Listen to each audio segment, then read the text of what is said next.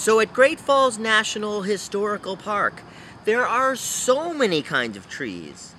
And each of those trees has something really cool about them for you or for me.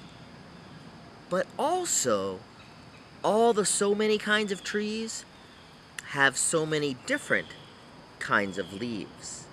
And in this lesson, we're going to start exploring the leaves of the trees. Let's go see what we're going to do today.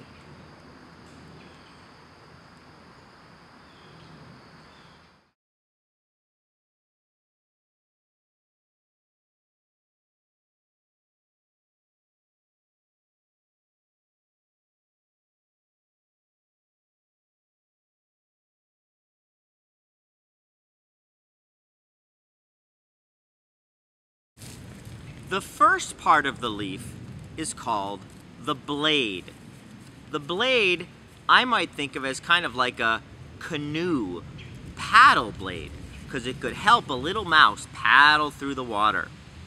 The blade is really the whole leaf. So the first part is the blade or the whole leaf.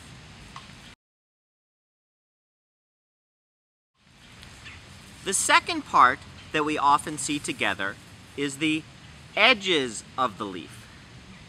The edges of the leaf are called the margin. The margin are the side edges of the leaf.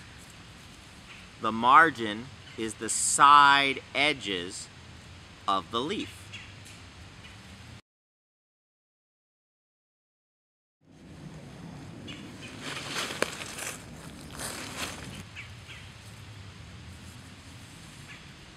The third part of the leaf is the veins.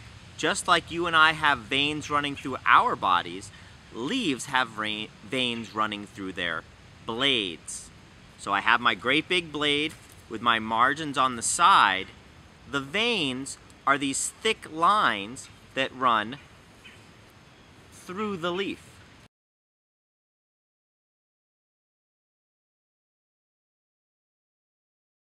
If you notice carefully, there is one vein in the middle that is very thick, and then smaller veins going out from the middle vein off to the side.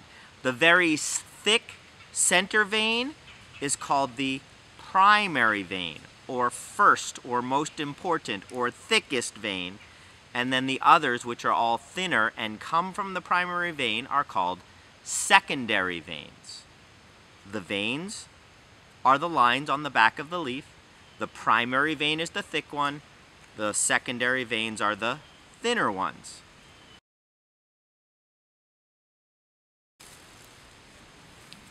Finally, we have the leaf stem. Now, we've been learning all sorts of things about stems. We have stems on our plants for our plant experiments. Later we're going to learn about flowers and the flower is going to have a stem on the flower that's attached to the stem on a plant. And now we have the stem on the leaf. So we have very specific words for each type of stem. And for the leaf, we call the stem the petiole. P-E-T-I-O-L-E. -E, petiole. The petiole is the leaf stem.